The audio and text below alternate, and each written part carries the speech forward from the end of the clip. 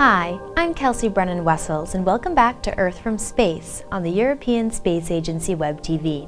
Today we look at four before and after satellite images over two harvest seasons in 2012 in the eastern Nile Delta. The first image is from April, the second was acquired after harvest in June, the next when vegetation grew again in August, and once again after harvest in October. These images were acquired with a Landsat 7 satellite.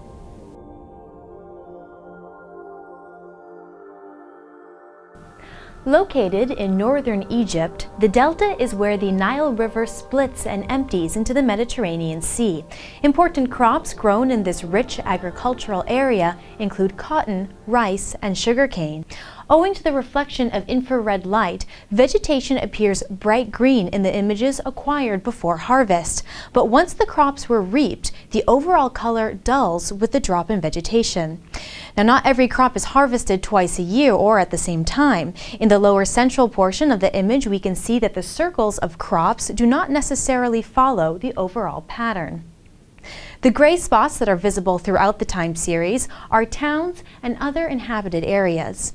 The arid and desert areas in the right and lower portions of the image also remain constant throughout the year, since there is little to no vegetation here and therefore no agriculture.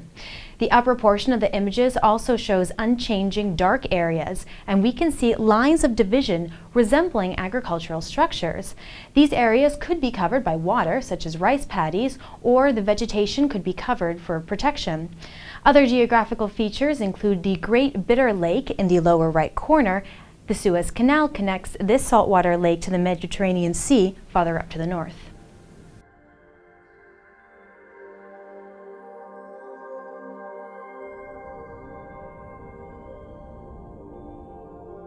Well, that brings us to the end of this edition of Earth from Space. Remember that we broadcast online every Friday at 10 o'clock Central European Time.